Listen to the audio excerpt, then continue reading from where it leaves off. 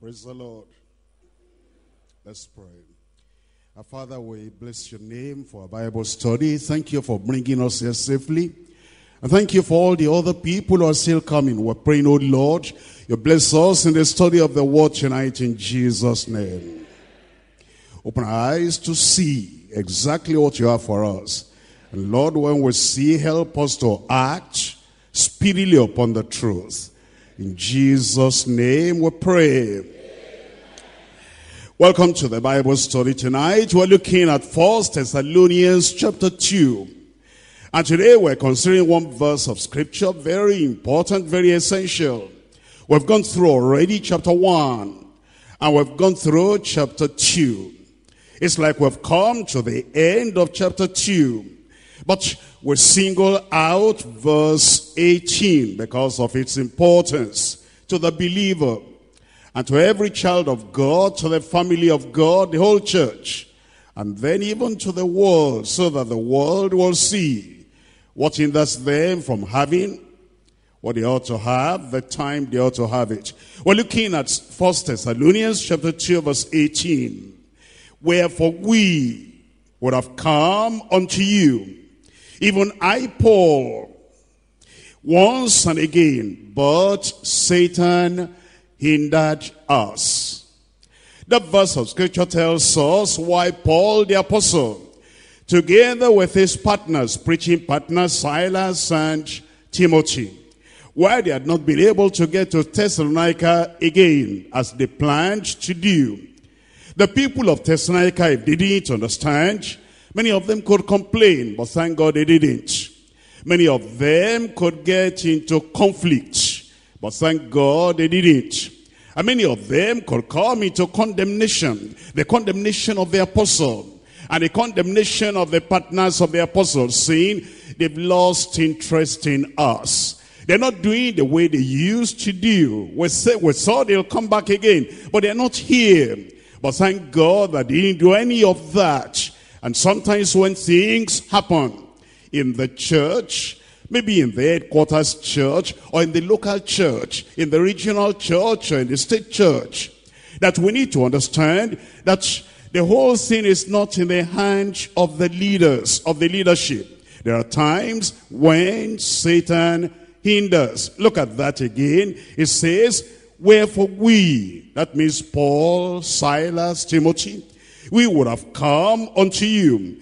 Even I, Paul in particular, would have come once and again, which means I would have come one, more than once. But Satan hindered, not just Paul the apostle alone, but Satan hindered the three of them. How did that happen? And what was he wanting to go and do once again? When he said, would have come once and again. What was he to do? And when our region overseers visit the local governments, why are they doing that? And when the state overseers visit the state, the local churches and the regions and everywhere, why are they doing that? And when any of our leaders and pastors, missionaries, when they visit all those local churches, what are they to do? And what was Paul thinking of going to do? Number one, he wanted to go and give them a second benefit. Second Corinthians chapter 1. We're looking at verse 15. In day and in days confidence I was minded to come unto you before, that ye might have a second benefit. There is a first benefit conversion. There is a first benefit salvation. There is a first benefit turning to the Lord. There is a second benefit that is sanctification. That is holiness. That's the strengthening of the church. That's the leading the church to the strength of the Lord. And Paul the apostle said, I'm coming. I want to come so that you would have a second benefit. And the reason he wanted to go to Thessalonica is so that they'll have that second benefit. Salvation, they had God. Now they needed sanctification. Now they needed holiness. Now they needed to be firm, to be standardized, and to be steadfast in the faith. Number two, that he may impart unto them some spiritual gifts to the end they may be established. We're looking at Romans chapter 1. The reason why I wanted to go to them once and again, and the reason why Satan hindered him and hindered them is so that they will not have this that Paul the apostle want to, wanted to give unto them. Romans chapter 1 verse 11, For I long to see you, that I may impart unto you some spiritual gift to the end ye may be established. You know, when people are born again, when they come to know the Lord, but they're still doubting. They don't have assurance. Is this real? And is it going to last forever? Or is it just for the moment? Then to establish them and to make them firm in the faith. And whenever we go to do follow-up, isn't that the reason why we go? To visit the people that are born again already. And to visit churches that are planted already. So that those churches, they'll have an impartation, impact upon their lives. And then they will be established. Number three is to establish establish them in the faith and to strengthen them so that they'll be able to resist this tempter.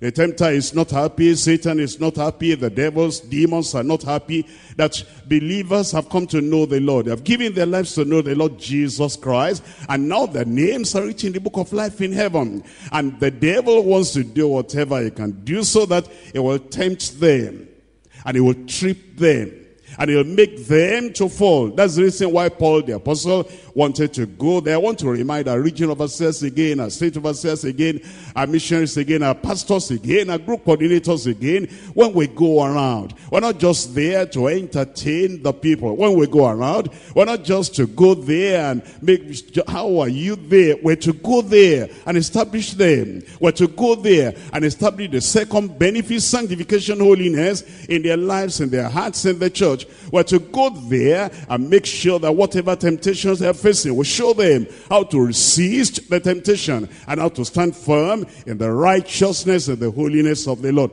In First Thessalonians chapter 3, I'm reading there from verse 1. First Thessalonians chapter 3, verse 1.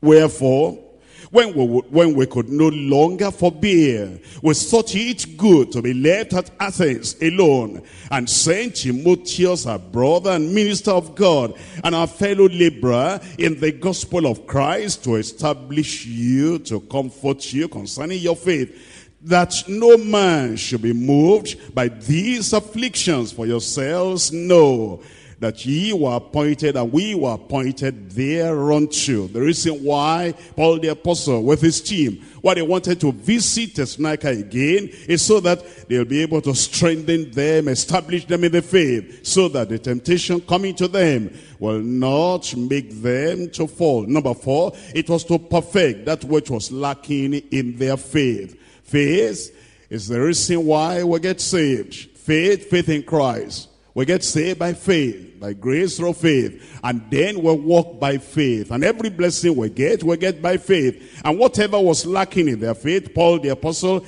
wanted to reach out to them so that it'll strengthen their faith and perfect their faith. First Thessalonians chapter 3, we're looking at verse 10. It says, night and day praying exceedingly that we might see your face. That's why I wanted to come to come once and again so that we can see your face and in that verse 10 and that we might perfect that which is lacking in your faith. Are you not learning something as a believer? You've done evangelism. Some people have come to know the Lord. Temptation will come to them. Go back to them. Strengthen them. And make them understand that temptations do come. Trials do come. Troubles do come. But we can stand in the Lord and be firm in the Lord and remain in the salvation it has given us. And also when they face some problems and some challenges and they're wondering whether their faith will carry them through or not. You are there to strengthen their faith and to perfect that which is lacking in their faith. Number five, it was to establish their hearts unblameable in holiness before God. We're looking at verse 13 of that same chapter 3.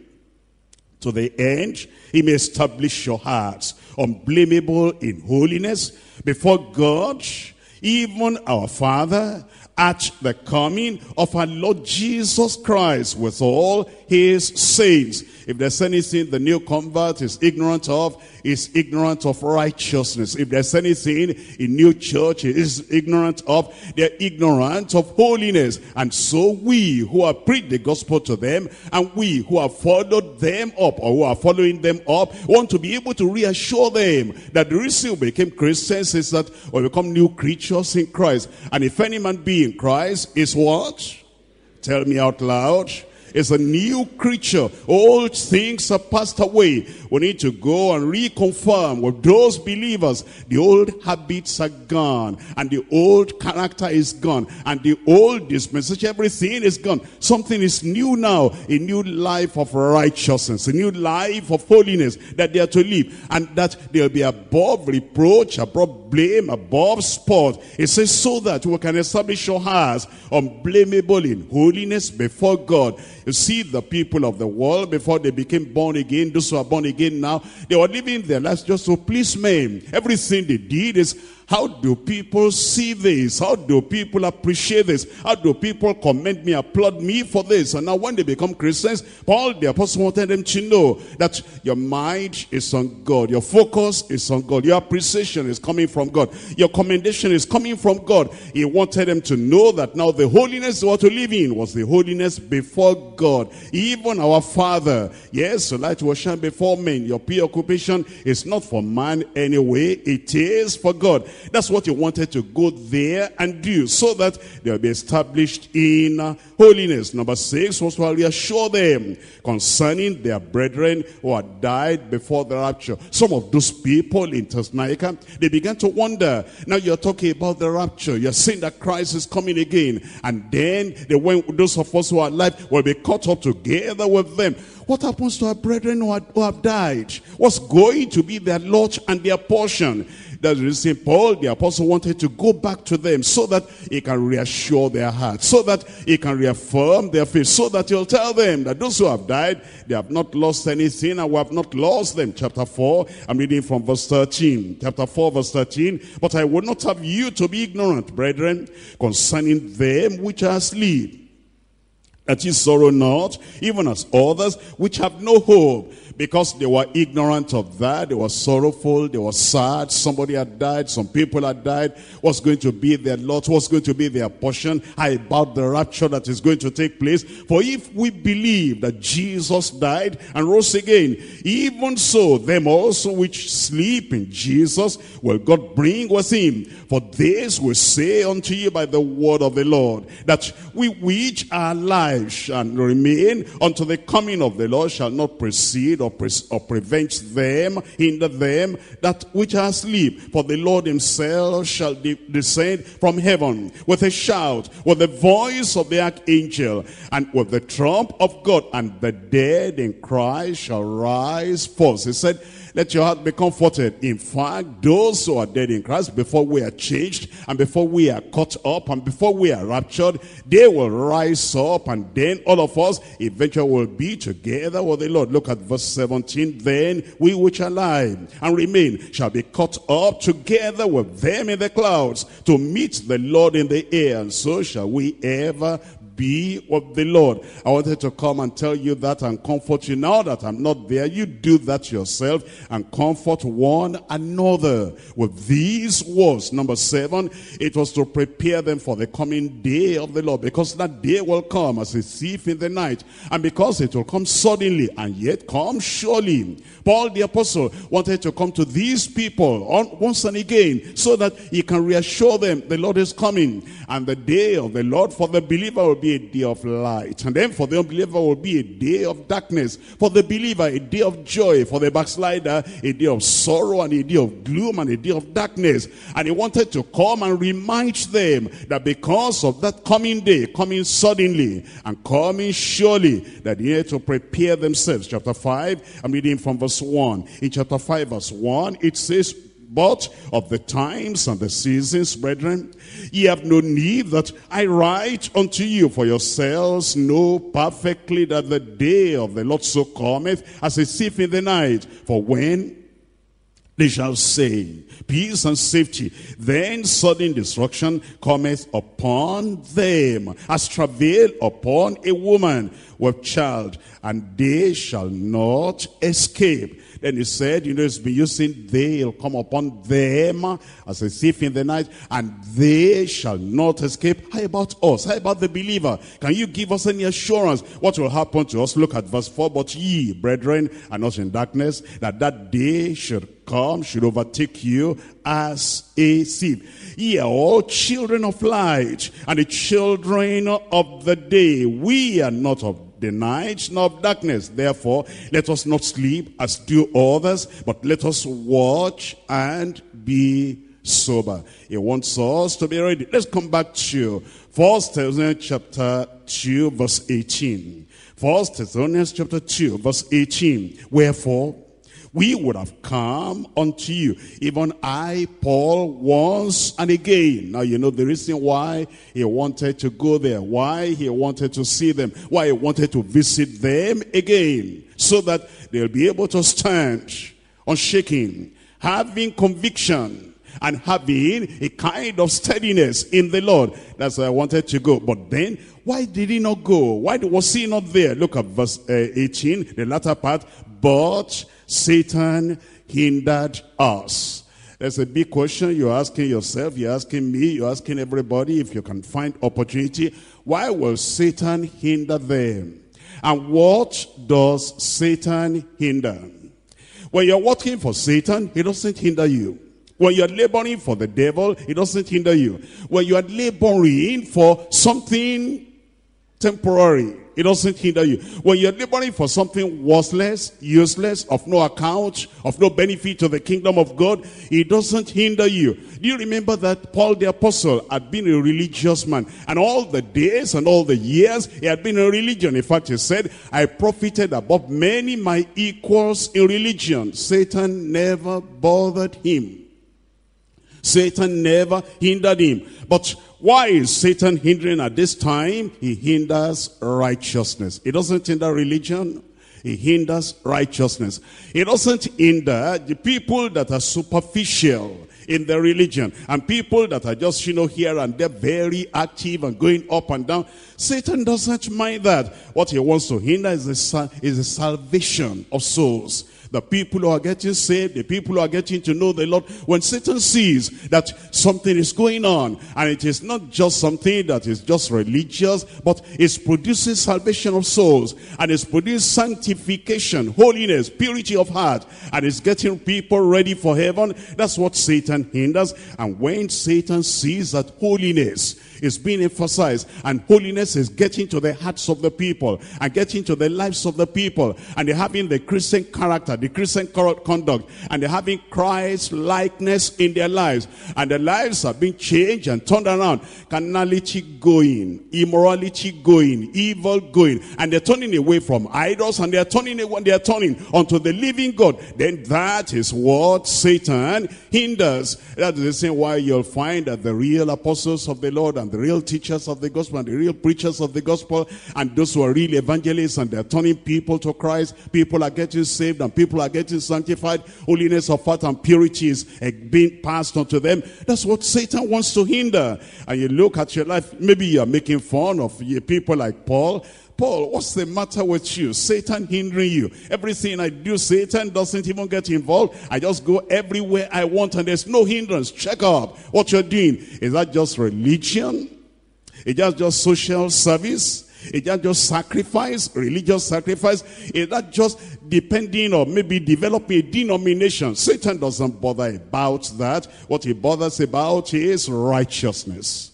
What he worries about is salvation of souls. What he worries about is sanctification of the saints. What he worries about is the expansion and the establishment of the kingdom of God. What he worries about, he doesn't worry about hospitality, you know, going around and uh, throwing a party there, religious party there, another party over there. And people are, that church is wonderful. They just feed us and they give clothes to the naked and give food to the, to the hungry. Satan doesn't bother about that, but he bothers about Holiness without which no man shall see the Lord. That's why it says, wherefore we would have come unto you. Even I, Paul, once and again, but Satan hindered us. But thank God we're going to overcome. I said we're going to overcome. That's why we're talking about turning Satan's hindrances to greater soul harvesting. Turning Satan's hindrances to greater soul harvesting. We're dividing the study tonight to three parts. Number one, overcoming hindrances through suitable substitutes. Suitable substitutes. Number two, obtaining help through the saints' supplication. The saints' supplication. Number three, optimum harvest. Great harvest. Best harvest desirable harvest through sustainable strategies. Number one, overcoming hindrances through suitable substitutes. Let's come back to 1 Thessalonians chapter 2 verse 18. Wherefore, we would have come unto you, even I Paul, once and again, but Satan hindered us. Is that the end of the story?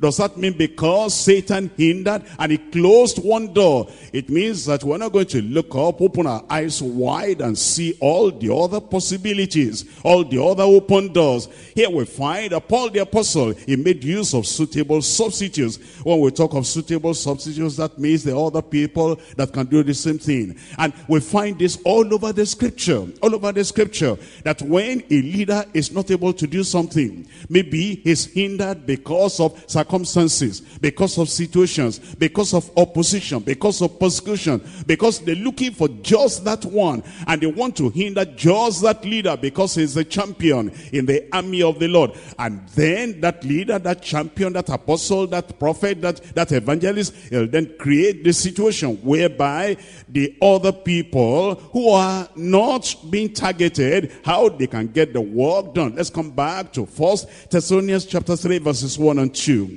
First Thessalonians chapter 1, chapter 3, verses 1 and 2. Wherefore, when we could no longer forbear, that is we who would have come, but Satan hindered us and we couldn't come. When we could no longer forbear, we thought it good to be left in Athens alone and sent Timotheus, our brother, a minister of God, our fellow laborer in the gospel of Christ to establish you and to comfort you concerning your faith. He said, we had a substitute and it was a suitable substitute. Always remember that, that if you want to get something done, it's preaching of the gospel, the salvation of souls, visiting them again, doing the follow-up, and then you're not able to do that, look for a suitable substitute. We're looking at First Corinthians chapter 4, verse 17. First Corinthians chapter 4, Verse 17, is suitable substitute for this cause have I sent unto you Timotheus Corinthians, I know the need is there. I know you want to see me. I know that I should be there, but now there's no opportunity now. I'm sending a suitable substitute unto you. And what a wonderful thing that we as a church, we should learn that if uh, Paul is not able to get to us, if the state of us is not able to get to us, if the region of us is not able to get to us, if a group coordinator is not able to get to us, there may be suitable substitute. They were saying, and it was still do the same thing. They say, preach in the name of Christ. They still and, and they still exalt Christ and they're still going to call people to know the Lord. And if they pray the name of Jesus, Jesus is still going to answer that prayer. And therefore we understand it's not every time Paul the apostle will be there. It's not every time Peter will be there. It's not every time the region overseer will be there. Sometimes it's a so suitable substitute. And when they come, you receive them, you accept them, and you receive the message, and the Lord will bless all of us in Jesus' name. Verse 17, for this cause have I sent unto Timotheus, who is my beloved son, and faithful in the Lord, and who shall bring you into remembrance of my ways, which be in Christ, as I teach everywhere in every church. It says Timothy is coming, is a suitable substitute, and is going to bring to you all my my ways in the Lord. We're looking at Second Corinthians chapter 8. Second Corinthians chapter 8, I'm reading from verse 16. Second Corinthians chapter 8 verse 16, but thanks be to God, which puts the same earnest care into the heart of Titus for you. It says, Paul the apostle was telling the Corinthians, you know, it's not only myself and it's not only Timothy, there's another man, it's my son in the faith.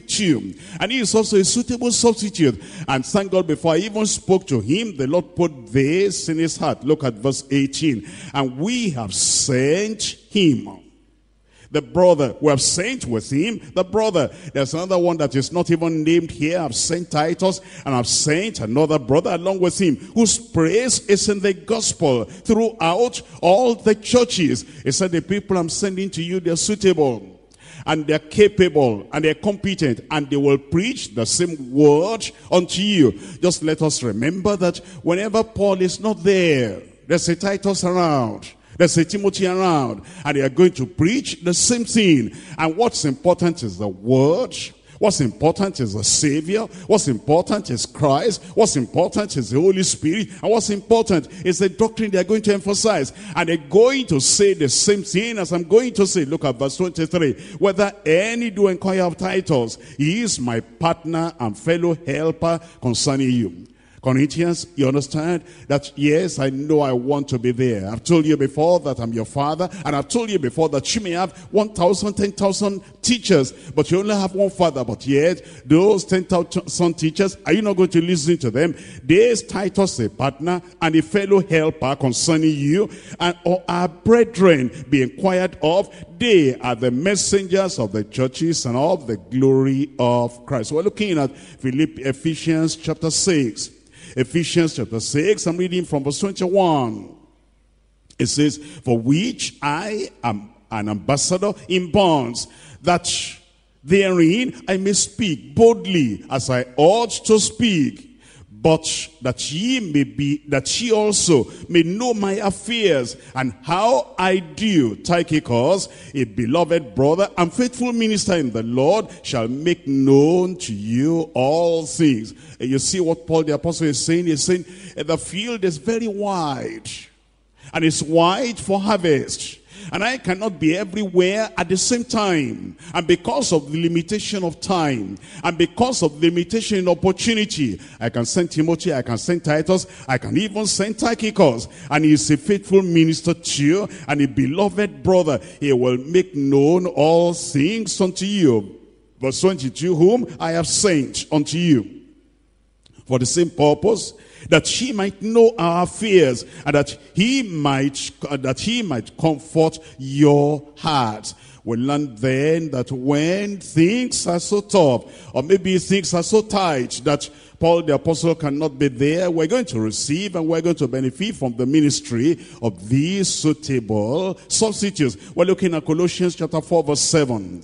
Colossians chapter 4 verse 7. Here Paul the apostle is telling us now about another privilege that, that we have. We're looking at chapter 4 verse 7. All my state shall Tychicus declare unto you, who is a beloved brother and a faithful minister and a fellow servant in the Lord well, we learn a lot of lessons from this. Number one, that wherever Timothy was pastoring, we must not uh, say, well, Timothy is here, therefore Paul, leave him alone. Don't touch him. Don't send him anywhere. We love him, we accept him, we benefit from his ministry, and you disorganize things, the administration in the church. Uh, Paul, when you send Timothy, anywhere you want to go, go there yourself. Well, Paul, the apostle said, I cannot go everywhere myself. In fact, there are places I want to go, but Satan hindered us. And because of that hindrance, I'm taking Timothy out of that place, and I'm going to tell Timothy, go to this other place. And surprisingly, Timothy came back from that place, and Paul the apostle said, uh, Timothy, there's another place I'm sending you to.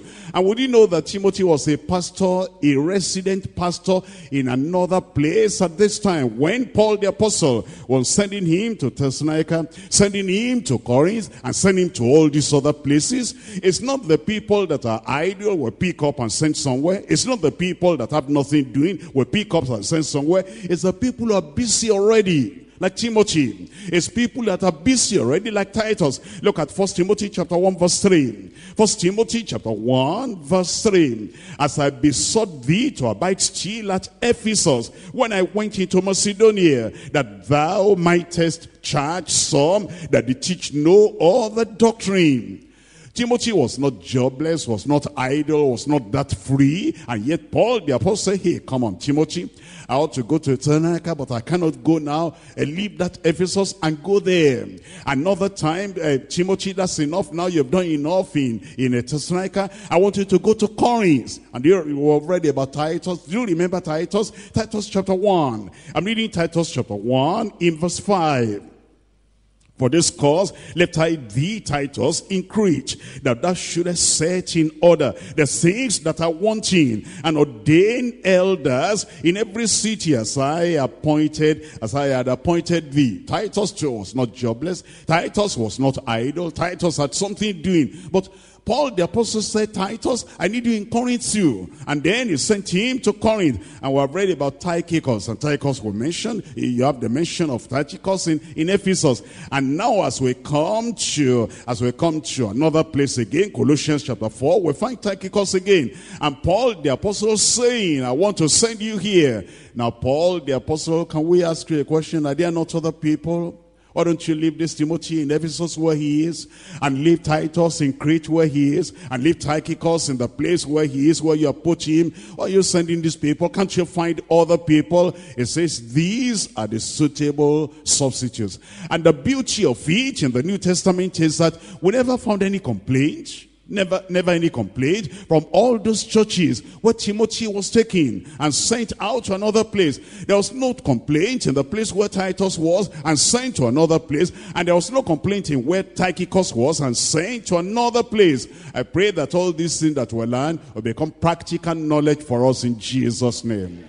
Number one, that for example, when I'm supposed to be somewhere and I'm not able to go there, that people are not going to complain and they're not going to say, why is it? You know, the pastor is not coming to us. And when we say somewhere, then you close your eyes and close your Bible and then turn the other way and say, I'm not going to listen. When the pastor, when the GS comes himself, that's when I'm going to listen. Hey, that's a wrong attitude. The other thing we need to take care of is that, let's say there's a Timothy and he's doing a great job in Ephesus. There's a Tychicus is doing a great job in another place. And then there's a Titus, he's doing a great job in, uh, in Crete. And then the GS says, uh, now Titus, I need to, for you to go over here, that nobody is complaining, nobody is grumbling. Why is it all this? Say, well, you understand, I travel around myself, I go to places myself, and when the work becomes so expansive and so great that I cannot go everywhere, we have the Timothy's there, we have the Tituses there, we have the Tychicus there, and we're going to send them. And and when they are sent, anywhere they're sent to, thank God they are going to be obedient in Jesus' name. And as they are obedient to the word of the Lord, I pray that our people that they are going to will benefit and get the word from them in Jesus' name. We're looking at Second Timothy chapter 2 verse 2. 2 Timothy chapter 2 verse 2 and the things that thou hast heard of me among many witnesses, the same commit thou to faithful men. It's Saint Timothy, as I've trained you and trained Titus and trained Tychicus and trained all the other people, Aquila, Priscilla, everybody. You too, train other people so that when the work expands and when the work is established and when you need to send other people to you to go and represent you and when you're looking for suitable substitutes, you'll be able to find people to pick on. We're saying the same thing to our state of overseers, train people. We're saying the same thing to the region overseers, train people. I'm sure you are not waiting until we announce national workers training until we announce national or international workers retreat. Before you have workers training in your region, workers training in your state, workers, workers training in your, in your, in your nation. That, okay, we're still waiting. Why are you waiting? Timothy also was to train the workers as Paul had trained the people. All the two people are not waiting in the various groups. We're waiting until the GS will announce this and announce this. Why does he have to do that? There you are do something. All those weekends are there. Get the time out and train the workers so that when we need suitable substitutes, we'll be able to pick them up and send them there. And this work will keep on expanding and expanding in Jesus' name. Chapter 2, verse 2 again. Second Timothy and the things that thou hast heard of me. Among many witnesses, the same, the same, don't change the doctrine, train with the same doctrine, emphasize the same doctrine, emphasize the same Christian life, the same holiness, the same sanctification. Don't omit anything. The same commit that to faithful men who shall be able to teach others also. Now, before I leave that point, I want to remind you that Timothy or Titus or Tychicus or Aquila or Priscilla or any of these other people, they were fast, a suitable substitute. What I mean by fast, F, they were faithful. A, they were available. S, they were steadfast. T, they were teachable. These people that were sent out, that could go and reach out to other people, teach other people. One, yes, they were fast. Fast in the sense that they obeyed promptly. They obeyed immediately. They were fast in the sense that the moment they were told to go that week, they were already there. They were fast. But then as you spell that out, faithful. And that's what Paul the apostle said about Timothy. That's what he said about Titus. They were faithful men, faithful women. And then that's what was saying about the people today, suitable substitutes. The GS to go somewhere, is not able to go, is sending you, be fast, be faithful. And then be available. Timothy was available, Titus available, Tychicus was available. All these people that Paul the apostle sent out, they were available. They didn't say, I'm sorry, Paul. I'm tired now. You know, I just came back from Thessalonica and now I'm going to go to Corinth and then I'm going to go to all this place. You know, Pastor, let's consider this scene. When somebody is shifting and moving about, today is Ephesus, tomorrow is Corinth, and the other day it's Thessalonica you know, a kind of a person shifting. Uh, there's no time to settle down. Can I settle down for some time? They were available. Then they were steadfast. And they just kept on doing what they ought to do, unmovable in the work of the Lord, knowing that their work was going to be rewarded. That's what we read about in First Corinthians chapter 15, verse 58. First Corinthians chapter 15, verse 58. Therefore, my beloved brethren, be steadfast, unmovable, always abounding in the work of the Lord. For as much as you know that your labor is not in vain in the Lord. Steadfast they were, and then teachable they were. Teachable. Everything Paul the apostle taught them, they went to teach the other people. To point number two now, obtaining help through the same supplication. Obtaining help through the same supplication. I'm coming back to First Thessalonians chapter 2. 2. First Thessalonians chapter 2, verse 18. Wherefore, we would have come unto you, even I, Paul, once and again, but Satan hindered us. Uh, there's something we find out about Paul the apostle. He knew his duty. He knew his responsibility. And he knew that physically he should go to all those places. But then there were hindrances. Do you know one thing that Paul the apostle did? He prayed supplication supplication the same supplication. Look at first thessalonians chapter 1 i'm reading from verse 2 we give thanks to god always for for you all making mention of you in our prayers. Making mention of you in our prayers. He knew that if he couldn't go to preach he could pray. Always praying for them. I'm looking at romans. We're looking at romans chapter 1 verse 8 Romans chapter 1 verse 8. For God is my witness, whom I serve with my spirit in the gospel of his son. And it says that without ceasing I make mention of you always in my prayers. Always in my prayers. He wanted to reach out to them and he couldn't reach out to them. You know, eh, the same hindrance he had, even to go to Rome. But he said, even though I couldn't come there to preach in the physical, I'm praying for you. Romans chapter 15, I'm reading from verse 22. Romans chapter 15, verse 22. For which cause also I have been much hindered from coming to you. He wanted to go to Rome as well. He wanted to go everywhere. Go to Philippi, go to Colossae, and go to Laodicea, and go to Rome, and go to Ephesus, and go everywhere. And he couldn't go everywhere he wanted to go. And he said, yes, I know what I'll do. I'll be praying for them, praying for them. And so we understand that even though you cannot do everything like that in the physical, you also, you are praying. We're looking at Ephesians chapter 3. Ephesians chapter 3, and I'm reading from verse 14 14, for this cause I bow my knees unto the Father of our Lord Jesus Christ, of whom the whole family in heaven and earth is named, that he will grant you according to the riches of his glory to be strengthened with might by spirit in the inner man. He said, if I come to you, that's what I will do. I'll be strengthening you in the inner man, strengthening your spiritual life. Because I cannot come, there's, there's something else I can do. I can make supplication. I can pray. And that's what he did. We're looking at Philippians chapter 1. Philippians chapter 1 verse 9. For they, and this I pray, that your love may abound yet more and more in, in, in knowledge and in all judgment. You know what Paul the apostle did? He said, I shall come there, but I'm not able to come. I shall visit you. I'm not able to visit you, but it's something I'm doing every day. I carry on ministry towards you every day. The ministry of prayer and supplication. What a lesson we're learning. That we don't need to be somewhere physically before we minister to them. We can be praying every day and praying every time and saying, Oh Lord, raise up people that will get this work done and touch those Thessalonian believers and those Colossians and those Philippians. Oh Lord, touch them and turn them around and make them to be the kind of people they ought to be. Colossians chapter 1. And I'm reading from verse 9. Colossians chapter 1 verse 9.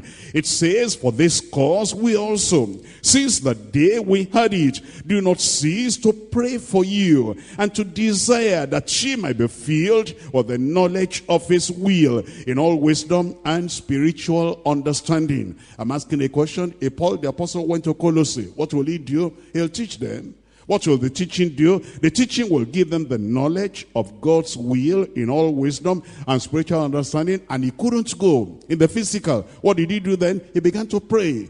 And so we understand that all those hindrances of the devil, we can pray. And when we pray, God will answer the prayer. And once we're praying, number one, we can send suitable substitutes. Number two, we can have the same supplication and all that will be getting the work done. Our prayer can remove the hindrances of Satan and it will.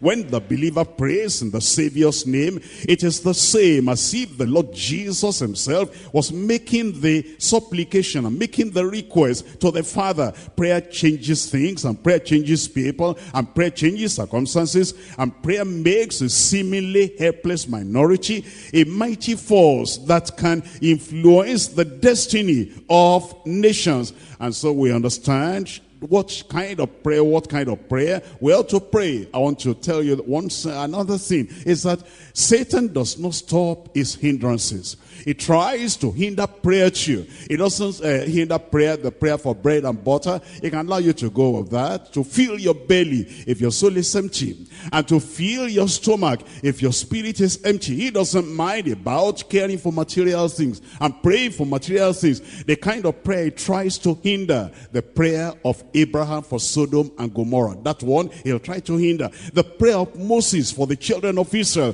When the children of Israel backslid and went, gone away from the Lord, and now Moses began to pray, Oh Lord, count these people as your people. Restore them. Bring them back to your grace again and count them as yours. If we have found grace in your sight, that's the kind of prayer Satan wants to hinder. He wants to hinder the prayer of Daniel that will take the time apart and wait upon the Lord, praying for the people of Israel to be restored from their captivity. And the prayer that will restore backsliders from backsliding and will restore saints unto holiness, sanctification, righteousness, and purity. That's the kind of prayer Satan would like to hinder. The kind of prayer that Jesus Christ prayed. And Jesus said we should pray. That's the kind of prayer Satan tries to hinder. Now we're thinking about our nation. We're coming back to our continent, Africa. Many places they're praying. But this kind of prayer they're not praying. The kind of prayer that Abraham prayed for Sodom and Gomorrah, they're not praying that kind of prayer. All they're praying for, give us healing, give us money, give us car, give us aeroplane, give us land, help us to build this and that, give us wives and give us children. That's all the prayer. They are praying most of the people, millions of people as they gather together. But the prayer that will save Sodom and Gomorrah. The prayer that will turn all the tide of immorality and defilement, turn all that around. They're not praying that kind of prayer. The prayer that Jesus said we should pray, that the Lord will send laborers into the vineyard, into the harvest field. That kind of prayer, they're not praying. But it's only the prayer for materials, the prayer for righteousness, for holiness, for sanctification, and for the strengthening of the churches. That kind of prayer, they're not praying. And the Lord is telling us, yeah, the Satan has succeeded succeeded in hindering many people from praying the right kind of prayer. And uh, the right kind of prayer, they're not praying all these other things they're praying for. I pray God will touch us. And as Satan has hindered other people from praying the, kind of, the right kind of prayer, we will not be hindered in Jesus' name. What kind of prayer we're praying? I want you to look at uh, Matthew chapter 9. Matthew chapter 9, verse 36. But when he saw the multitude, he was moved with compassion on them because they fainted and were scattered abroad as sheep having no shepherd. Then said he unto his disciples, The harvest truly is plenteous, and the, but the and laborers are few. Pray ye therefore. That's what the Lord said. Pray ye therefore. That's what he commanded. Pray ye therefore. That's what he's expecting. Pray ye therefore the Lord of the harvest, that he will send forth laborers into his harvest. And that's uh, what Satan has successfully hindered in many places. The prayer that we pray that will send laborers into the harvest. We're looking at that same thing in Luke chapter 10, verses 1 and 2. Luke chapter 10, we're looking at verses 1 and 2. When you are not praying this kind of prayer, it means Satan is hindering you. When all the prayer you are praying is only for material things, superficial things, and only for physical things, the things that will perish here in the world. When that's the only kind of prayer you're praying, only for yourself. You're not praying for salvation of souls. You're not praying for servants and leadership and, and leaders to be raised up. You're not praying for evangelists and pastors to be raised up. You're not praying for churches to be planted. All the prayer you are praying, give me this, give me this, give me this. That means Satan has successfully hindered you from praying the kind of prayer. I pray that that hindrance will be broken today in Jesus' name. Luke chapter 10, I'm reading from verse 1. It says, After these things, the Lord appointed all the 70 also, and he sent them two and two before his face into every city and place whither he himself will come.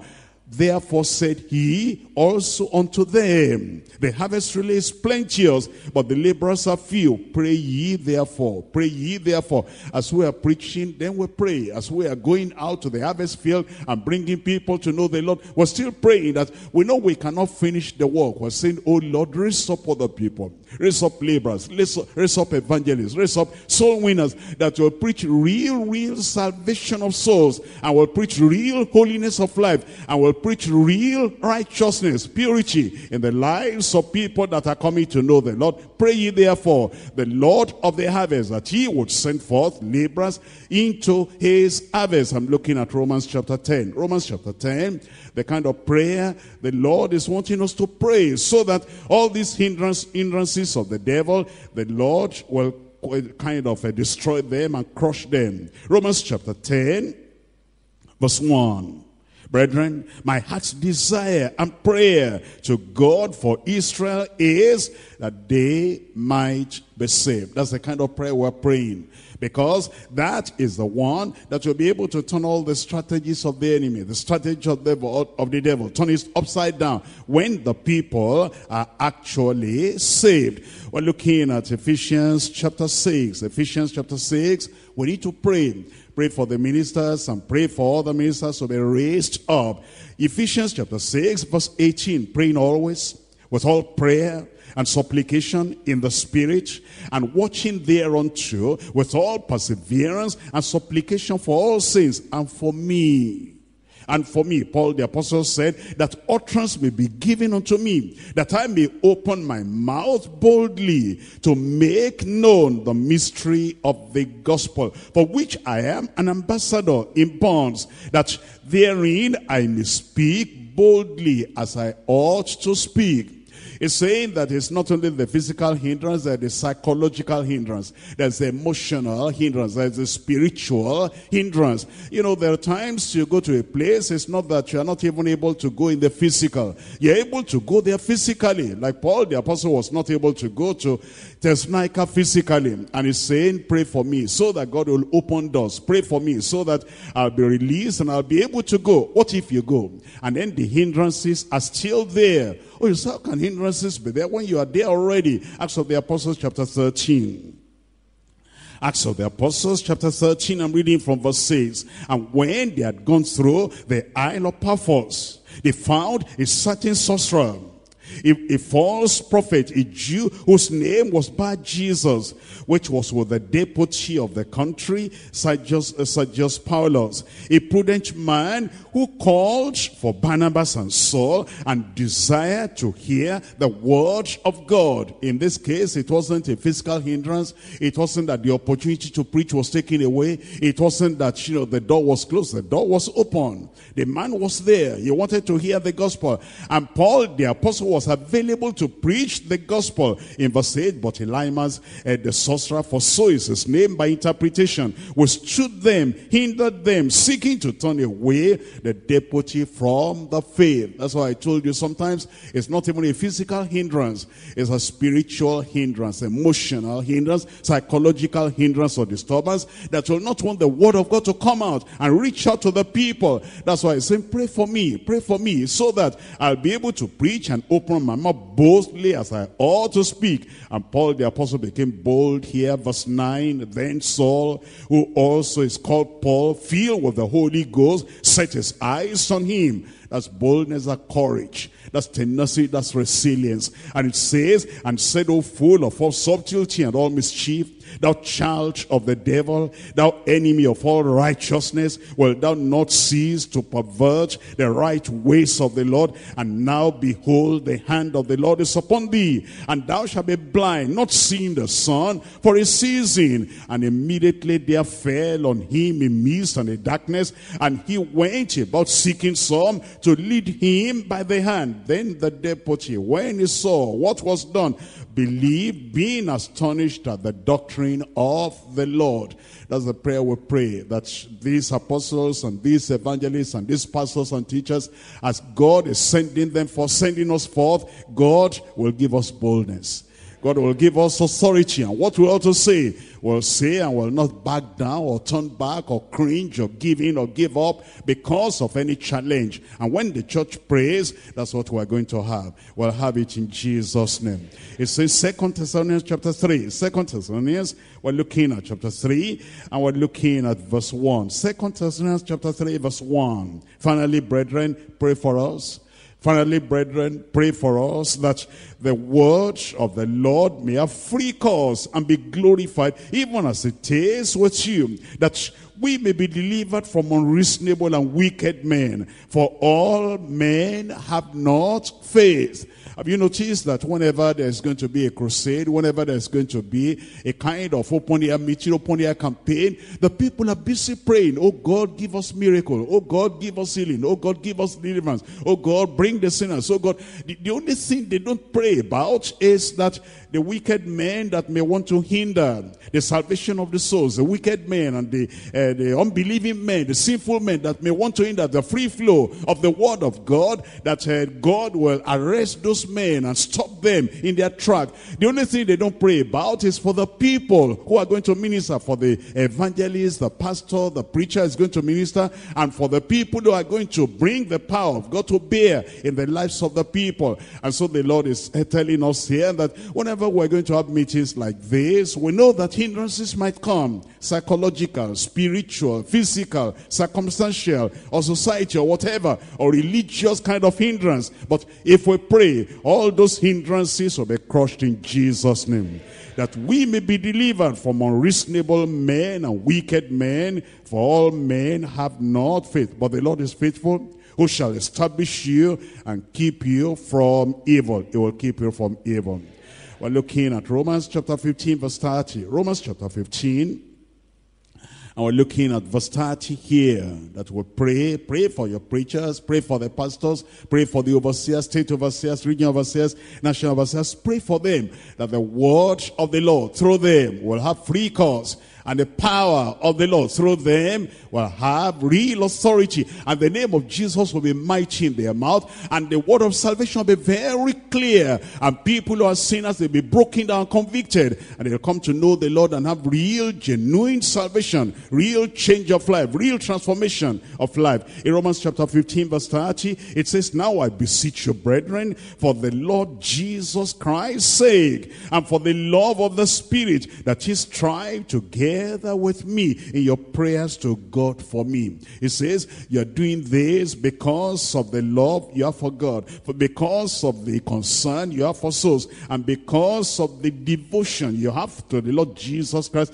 He says, strive with me your prayers for the Lord Jesus Christ's sake. Strive with me your prayers for the love of the Spirit, that I may be delivered from them that do not believe in Judea, and that my service, which I have, which I have for Jerusalem, Jerusalem may be accepted of the saints, that I may come unto you with joy by the will of God and may with you be refreshed. You're saying, yes, we can come. What if we come restricted and restrained? What if we come depressed and discouraged? What if we come sorrowful and sad? What if we come just, you know what, just, just to obey, just to obey God and just to fulfill all righteousness. But then there is no joy in our service. Say, pray that all these things that hinder the joy of ministry and the free flow of the power of God that makes us to see there is souls and brings joy into our souls. Pray that all those hindrances of the joy of ministry, the Lord will take it away. And as the Lord answers your prayer, he'll bless the multitude, he'll bless the preacher, he'll bless you, the prayer warriors too in Jesus' name. We're looking at Colossians chapter 4 verses 2 to 4. Colossians chapter 4 and I'm reading there from verse 2. Colossians chapter 4 verse 2, it says, continue in prayer and watching the same with thanksgiving, without praying also for us. With all the prayers you are praying, with all the commitments you have in supplication, praying for us that God will open unto us a door of utterance to speak the mystery of Christ, for which I am also in bonds, that I may make it manifest as I ought to speak. Prayer is very important. Somebody has written, captured the power of prayer like this. He said, prayer has divided seas, rolled up, rolling, uh, flowing rivers, and made flinty rocks gush into fountains, quenched flames of fire. Prayer has muzzled lions, disarmed vipers and poisons, marshaled the stars against the wicked, and stopped the course of the moon. Prayer has arrested the rapid sun in its great rays, and prayer has burst open iron gates recall soul from eternity and conquer the strongest of devils and prayer has commanded legions of angels down from heaven. We're talking about prayer the prayer that the saints ought to pray the prayer that believers ought to pray the prayer that the church ought to pray for our ministers for overseers and for the leaders and for the evangelists and pastors and teachers. Prayer has bridled and changed the raging passions of men and routed and destroyed the vast armies of of proud, daring, blustering atheists. Prayer has brought one man from the bottom of the sea and carried another man in a chariot of fire to heaven. What has not prayer done? Satan cannot hurt the work of God when we pray will not halt, will not hurt, and will not hinder the work of God. When we pray, we're going to pray. We're looking at Zechariah, Zechariah chapter, chapter 3. I'm reading from verse 1. Zechariah chapter 3. There are times when a man of God, a preacher of the gospel, an evangelist, a pastor, a teacher, an overseer is uh, wanting to do the word of God, wanting to do the work, and wanting to stand firmly. And Satan is standing behind that individual saying, no, this will not be done. That's a hindrance. But when we pray, Satan will be restrained and rebuked. Zechariah chapter 3, I'm reading from verse 1. And he showed me Joshua, the high priest, standing before the angel of the Lord, and Satan standing at his right hand to resist him. We have a lot of plans, want to preach, a lot of plans, want to evangelize. A lot of plans we want to make sure that everybody in our nation, everybody in our country hears the gospel. Want to go here and go there. We have the vision, we have the dream, we have the goal, we have the energy, we have the commitment, we have the consecration. But it says, and Satan stood at his right hand to resist him. Eh, you know, the church needs to understand, the people of God needs to understand that it's not that people of God don't have, that the preachers don't have vision, our overseers don't have vision. It's not that our coordinators, group coordinators don't have vision. Yes, we all have the vision. But what if there's a Satan standing to resist all the goal, all the dream, all the energy, all the aspiration, all the ambition, all the things we want to do? And the Lord said unto Satan, and so the Lord said unto Satan, The Lord rebuke thee, O Satan. Even the Lord that has chosen Jerusalem rebuke thee. Is not this a brand plucked out of the fire? And in our prayer, we can make the Lord to rebuke Satan and then to release the servants of the Lord. Number one, the prayer will release, they will rebuke or restrain Satan. Number two, the prayer will release the servants of the Lord. I'm looking at Acts of the Apostles chapter 12. Acts of the Apostles chapter 12, we're looking at verse 5. And Peter therefore was kept in prison. But prayer was made without ceasing of the church unto God for him. Peter was an apostle, a great, great apostle, a forefront apostle. He shouldn't be in the prison at that time. He should be on the field. He should be preaching the gospel in Jerusalem, Judea, Samaria, to the uttermost part of the earth. But then restriction came. And you know, some people might say, if you don't understand this, that this is the work of the devil, that, well, they are slowing down, they are not doing as they wanted to do anymore. Do you realize there can be a hindrance? And you realize there can be a kind of spiritual imprisonment, psychological imprisonment, or physical imprisonment, or society imprisonment. But the church realized, and the church prayed without ceasing. And he says unto God, and then what happened? We're told in verse in verse 7, and behold, the angel of the Lord came upon him, and a light shined in the prison, and he smote Peter on the side and raised him up, saying, Arise, arise up quickly. And his chains fell off from his hands. That's what prayer can do. I said that's what prayer can do. And our prayers will do that in Jesus' name. And the angel of the, and the angel said unto him, Gird thyself and bind on thy sandals. And, and so he did. And he said unto him, Cast thy garment about thee and follow me. And he went out and followed him and wist not that it was true, which was done by the angel, but thought it was he saw a vision. And when they were past the first and the second ward, they, they came unto the iron gate that leadeth into the city, which opened to them of his own accord. How did that happen? Which key? Open that door, the key of prayer. Your prayer will do that. Closed doors will open. Can I, can I remind you that those people that were praying, they didn't see the angel? Those people that were praying, they didn't see the locked doors open. Those people that were praying, they didn't see all these things happening. They still continue praying and continue praying. Continue praying. God will answer your prayer.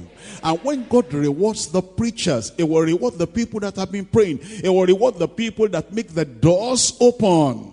He will reward the people that makes opportunities come. He will reward the people that make salvation of souls to come unto the people that are lost in sin. And then it says they went out and passed on through one street and forth, forthwith the angel departed from him. And when Peter was come to himself, he said, Now I know of a surety that the Lord has sent his angel and has delivered me out of the hand of Herod and from all the expectation of the people of the Jews. The Lord will do that once again.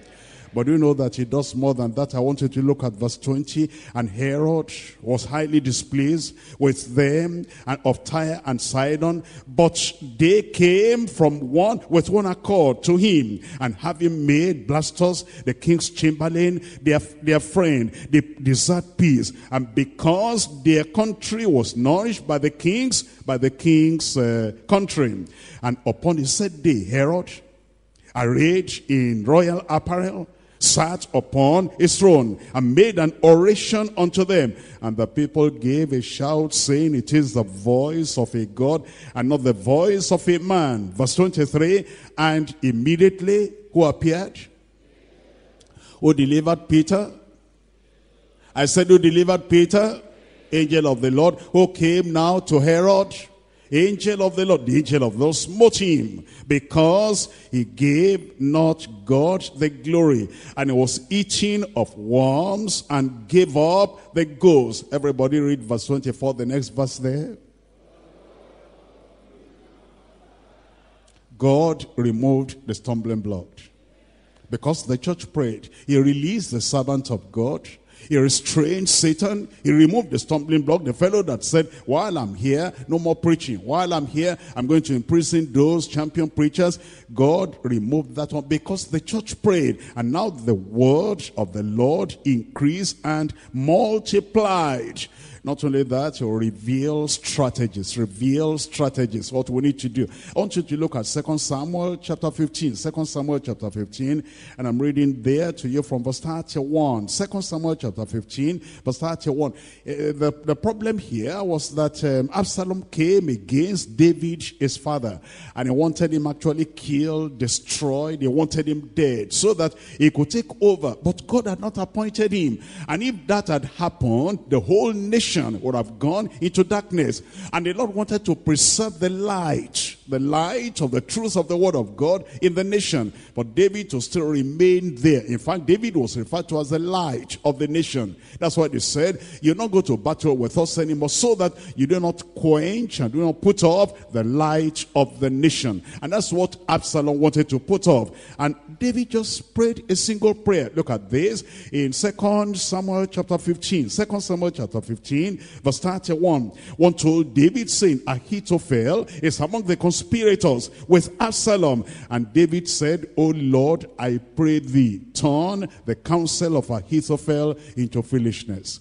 I'm reading this to you because there are people that say, I don't have enough time to pray. You don't have enough time to just say, Oh Lord, I pray thee, turn the counsel of Ahithophel into foolishness. How much time does that take?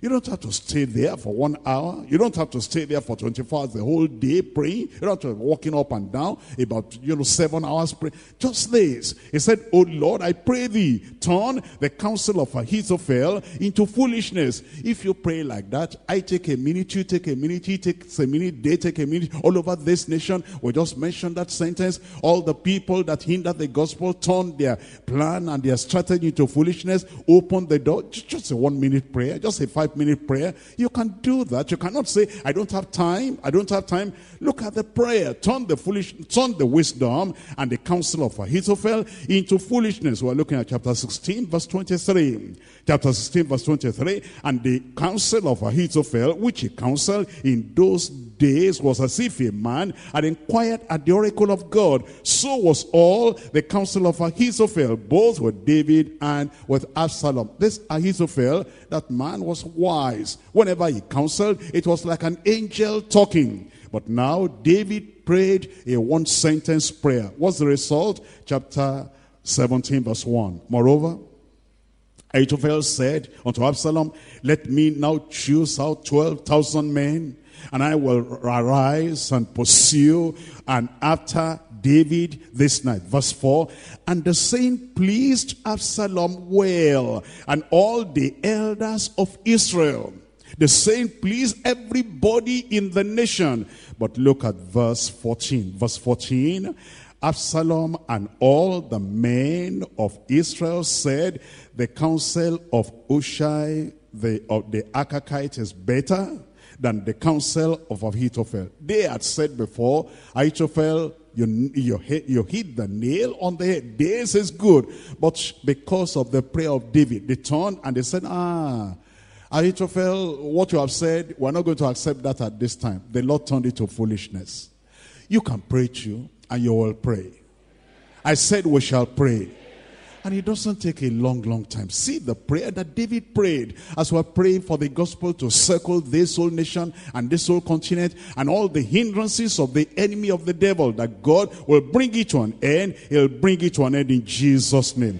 Verse 14, for the Lord has appointed to defeat the good counsel of Ahithophel. It was a good counsel, but the Lord appointed to defeat it for to the intent that the Lord might bring evil upon Absalom. That means then we need to pray strategic praying. I come to point number three now. Optimum harvest through sustainable strategies. Optimum harvest through sustainable strategies. Optimum means the best, best harvest, unequal harvest, great harvest, most desirable harvest through sustainable strategies. There are strategies we need to understand. Let's come back to First Thessalonians chapter, chapter 2. First Thessalonians chapter 2. And I'm reading from verse 18 once again. First Thessalonians chapter 2, verse 18. Wherefore, we would have come unto you, even I, Paul, once and again, but Satan hindered us. What are we going to do now? Because Satan has hindered us, wanted to come, what we couldn't come. Now, what was he to do? I want you to look at this in chapter 5, verses 27 and 28. Chapter 5, verse 27. I charge you by the Lord that this epistle be read unto all the holy brethren. This epistle be read unto all the holy brethren. What's the strategy here? He couldn't preach, so he wrote. The message I've gone to preach there. He wrote it down and he sent it to them. And he said, I'm sending you this. This is what I've come to do. This is what I would have come to tell you. All that I will preach unto you. All this I've been studying for all these weeks now. This is what I wanted to come and do and say and preach and teach. But because I cannot come in the physical, there's another strategy. And it's a strategy of writing. He put it down. You're going to find that that strategy, God himself gave it to Jeremiah. Jeremiah chapter 36, I'm reading from verse 1. 1. Jeremiah chapter 36, look at verse 1. And it came to pass in the fourth year of, Je of Jehoiakim, the son of Josiah, king of Judah, that the word of the Lord came unto Jeremiah the, uh, from the Lord, saying, Take thee a roll of a book and write therein all the words that I have spoken unto thee. Write therein all the words I have spoken unto thee. At that time, Jeremiah was locked up in the prison. And because he was in the prison, he couldn't, he couldn't come out and he couldn't go and tell them directly the word the Lord has spoken to him. Look at verse 4. Then Jeremiah called Baruch, the son of Neriah, and Baruch wrote from the mouth of Jeremiah all the words of the Lord, which he had spoken unto him upon a roll of a book. And Jeremiah commanded Baruch, saying, I am shut up, I am hindered. I'm locked up here and cannot go into the house of the Lord. Therefore go thou and read in the roll, which thou hast written from my mouth, the words of the Lord in the ears of the people, in the Lord's house upon the, upon the fasting day. And also thou shalt read them in the ears of all Judah that come out of the cities. The strategy the Lord has given is that even though we're not able to go there physically, we can send literature. We can write. Now there's telephone, now there's internet, now there's television, now there's radio. There's a lot that can be done. I will not say because we cannot go there in the physical. Because of that, we cannot do this or that. Would you know that by the grace of God, there are times when I'm not able to go to a particular place. A few weeks ago, uh, we were planning a particular meeting, and I should have been there. But I was, uh, you know, busy in another place, preaching in another place. But they told me when the preachers will be there. And so that is the pastors who are planning a mighty crusade over there. And while the preachers were gathered together in my place where I was, I took time off from where I was uh, having meeting. I said, I have another appointment now, and then we'll put the computer there and he did you some kind of things. And I saw the people there in another country. I could see their picture. And then as I, you know, greeted them, good afternoon, brothers and sisters. I will thank the Lord for this uh, meeting. I want to encourage you that this meeting, we're going to do it and I'm there with you. And then they said amen and all that. And they saw my picture while I was talking and I saw their picture. And then after that, I gave them the message and I opened the scripture. I said, open to this and open to that. And we did all that. Even though I couldn't go there physically, there's a lot that can be done today. Writing is there, recording is there, television is there, internet is there, and 24 by 7 is there. A lot will be done. We're going to do it. And the email is there too. Everything is there. And we can use all these things. And we're going to reach out with the gospel in Jesus' name write it down, write it down, and send it to them, or record it, or whatever it is, show the picture, do everything, and give it to them, and the work of God will go on without any hindrance in Jesus' name. We're looking at Luke chapter 1, I'm reading from verse 1. Luke chapter 1, we're reading from verse 1, for as much as many have taken in hand to set forth in order a declaration of those things which are most surely believed among us, even as they delivered them unto us, which from the beginning were eyewitnesses and ministers of the word, it seemed good to me also, having had perfect understanding of all things from the first, from the from the very first, to write unto thee in order, most excellent Theophilus, that thou mightest know the certainty of those things wherein thou hast been instructed. If we cannot go there physically, we can write it down. We're looking at Revelation chapter 1. Revelation chapter 1. I'm reading there from verse 9. Revelation chapter 1, we're reading from verse 9. It says in verse 9, it says, I, John, who also am your brother and companion in tribulation, and in the kingdom and patience of Jesus Christ, was in the isle of Patmos, that is in the isle that is called Patmos. Here he was a kind of banished into the isle of Patmos. He couldn't come out to preach unto them, to preach to the seven churches in Asia Minor. But then we're told that the word of the Lord of God, for the word of the Lord, for the word of God, and for the testimony of Jesus Christ. I was in the spirit in the last day and heard behind me a great voice as of a trumpet saying, I am Alpha and Omega, the first and the last. And what thou seest, write in a book you cannot live here physically. You are banished here. You are abandoned here. You are imprisoned here. You are captured here. Write it down in a book and send it to the seven churches which are in Asia Minor. The Lord is telling us that we can write it and we can send it to them. And uh, what we have learned, look at the first sentence that, that we're studying. If Paul the apostle had gone there in the physical, maybe he'll just preach and that will be all. But he couldn't go there. And now what is sent to them still benefited them and has benefited many, many generations. And it's even done much more than the devil tried to hinder.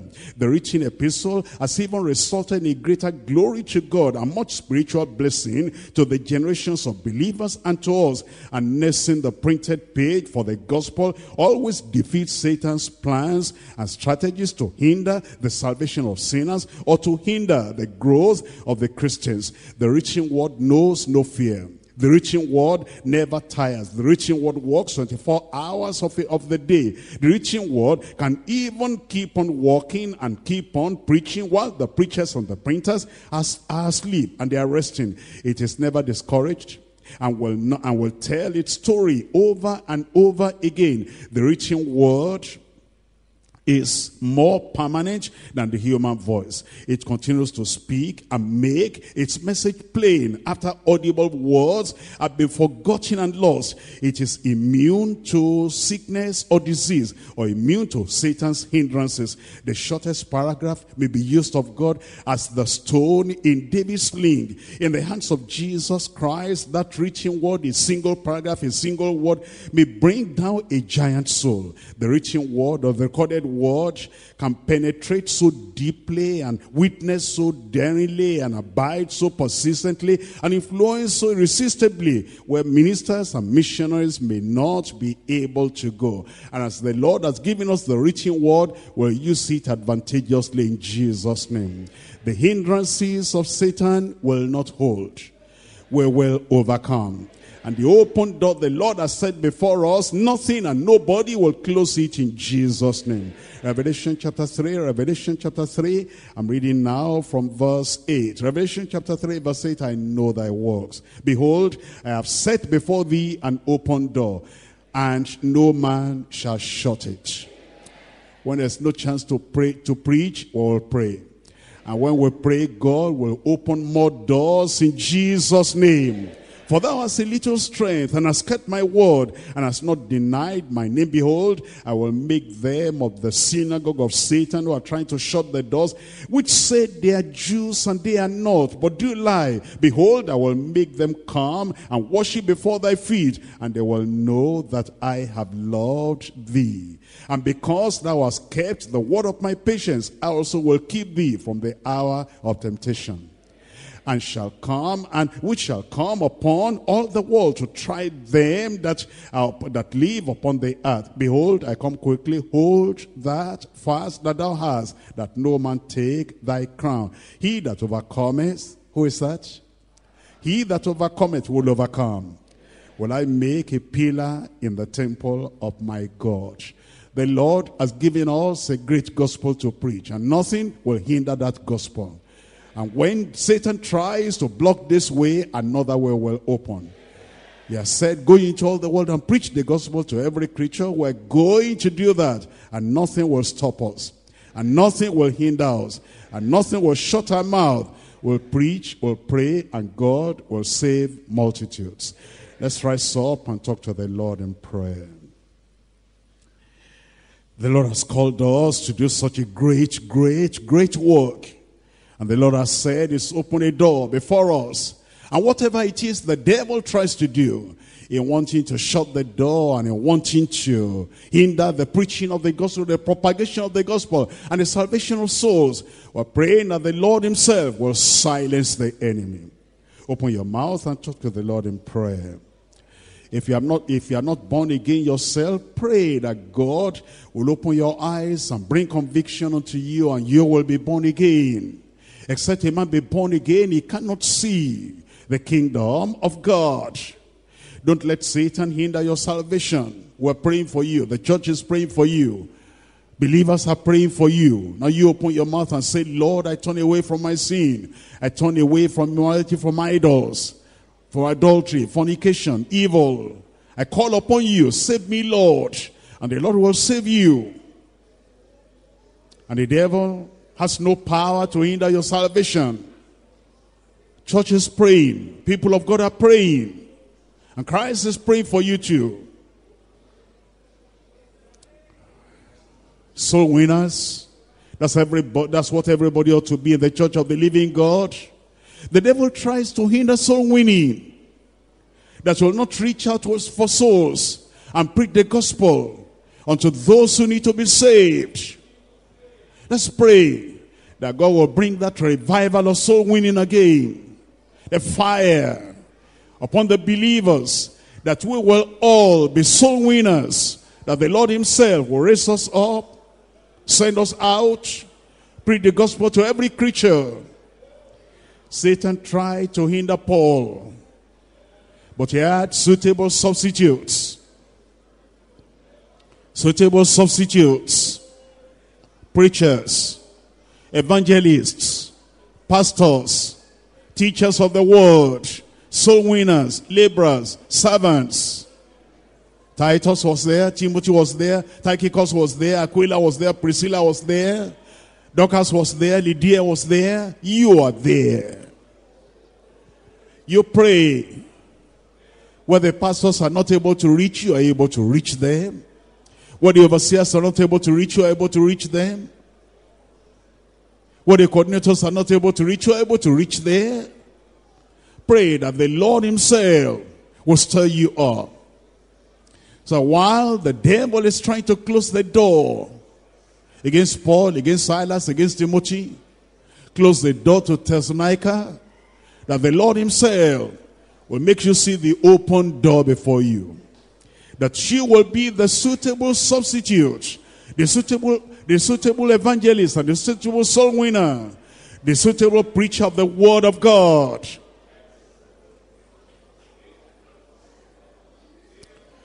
That God will open your mouth, open your heart, reach out to them. The people that need to hear the gospel. That all the coldness and the lethargy, the Lord will take it away. The lukewarmness, the Lord will take it away from you, from everyone. That you will not leave Paul alone to do the preaching. Timothy alone to do the preaching. Silas alone to do the preaching. Tychicus alone to do the preaching. Titus alone to do the preaching. Aquila, Priscilla alone to do the preaching. That you will rise up. And you will say, Lord, I'm available. I'll be faithful. I'll be available. I'll be steadfast. I'll be teachable. And the things I hear, the words I hear, I will go and declare unto people around me. This gospel shall be preached in all the world. Not only Paul, you are there. Not only Timothy, you are there.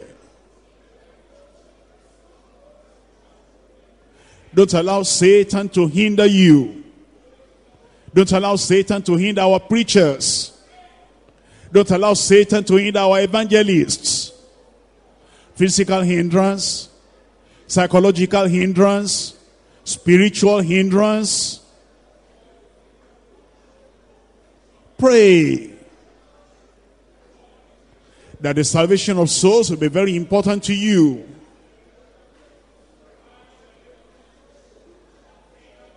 I said it was important to Paul. Important to Timothy. And when God picks up Timothy, if that Timothy happens to be your pastor, if that Timothy happens to be your state overseer, if that Timothy happens to be your region overseer, and he's sent to Corinth, or he's sent to Thessalonica, or he's sent to Ephesus, you'll not grumble. You'll not complain. You'll not fight. You'll not slander. You'll not grumble. You'll not oppose. You'll not persecute. You'll not try to scatter the church. Because Paul called Timothy out of your region, out of your state, to go to another place. You praise the Lord, you glorify the Lord. That Paul had confidence in our Timothy. God, uh, God had him confidence in Titus and allowed Paul to send him out to where Paul should have gone. And when Paul couldn't go there, he sent Timothy, he sent Titus, sent Tychicus. And now he's sending our Timothy, sending our overseer, sending our pastor to go there. You praise the Lord for that and keep on praying. That God will bless the ministry of Paul and bless the ministry of Timothy and bless the ministry of Titus. Everything they're doing, where they're going, the souls will be, will be saved. That multitudes will come to know the Lord in real powerful conversions. Suitable substitutes. Pray that the Lord will so use you, will so use us, all together that the word of the Lord be reaching out through the saints' supplication. The saints' supplication. Paul the apostle prayed. We overseers, if we're not able to go to a place, we pray. We make intercession. The kind of intercession Abraham made for Sodom and Gomorrah.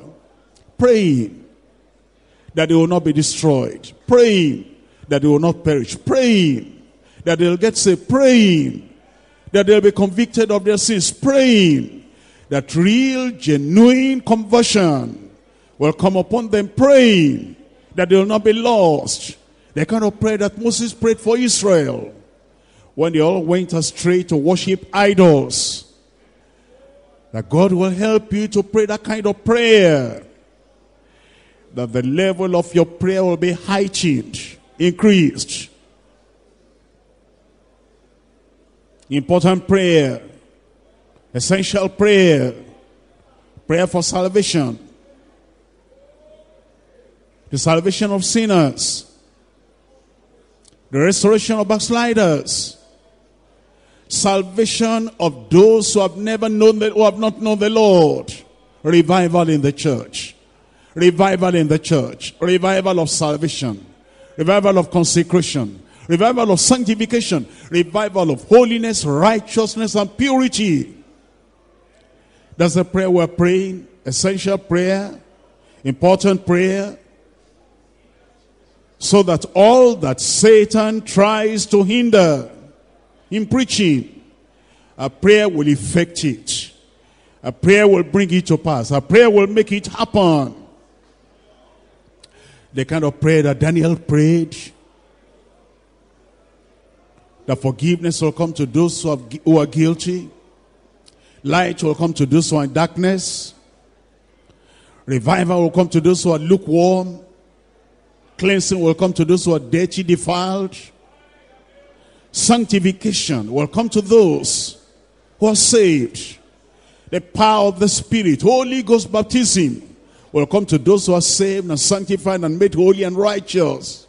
Pray that what we're not able to do because of the hindrance of Satan in preaching, a prayer, our intercession, a supplication will get it done. Paul prayed. Preachers also must keep on praying. Overseers must keep on praying. National overseers, state overseers, region overseers, pastors, evangelists, leaders in the church, praying that all hindrances of Satan will be broken and destroyed praying for laborers to come into the harvest field. The field indeed is white for harvest and plenteous, but the laborers are few. The preachers are few. The evangelists are few. The teachers are few.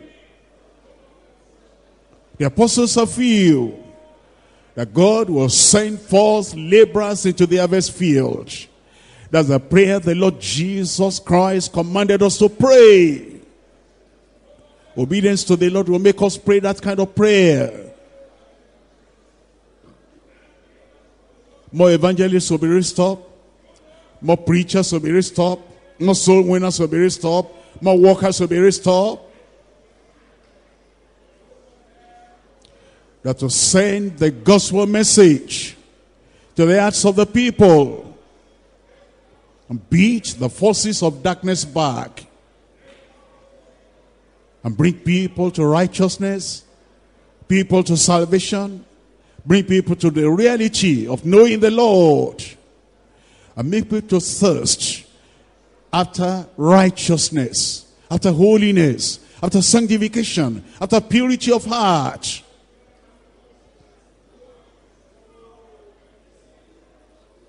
When Paul the apostle could not go, the Lord revealed unto him sustainable strategies. The strategy of writing. The strategy of putting the message on paper. Something that will not be destroyed. Something that will live from generation to generation. Something that will abide and stand the test of time the reaching word, the reaching epistle, printed out and distributed everywhere. Thessalonians read it, Colossians read it, Laodiceans read it, Philippians read it, first century believers read it, and all through the ages, that same epistle that had been written had been read and has brought people to salvation and to hope and to patience and to obedience and to righteousness and to holiness, to sanctification, to power, to strength, to stability. And we in this generation, we're reading it too. And it's bringing us to salvation, bringing us to sanctification, holiness, bringing us to steadfastness and stability, solidity in our Christian faith.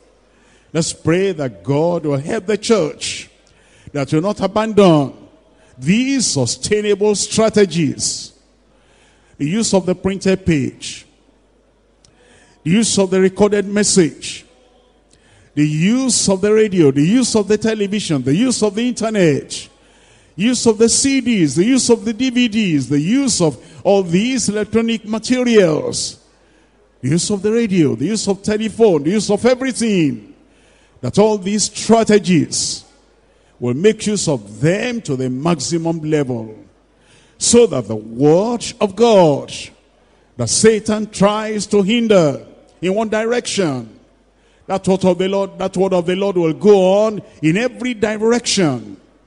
And if one avenue misses them the other avenue the other approach will catch them.